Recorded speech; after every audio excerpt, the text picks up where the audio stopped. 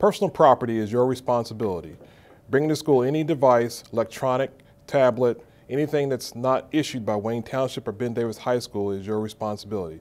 Make sure you have all your items secured in your locker, in your bags, and don't plug in items in classrooms and leave them unattended because they may not be there when you return.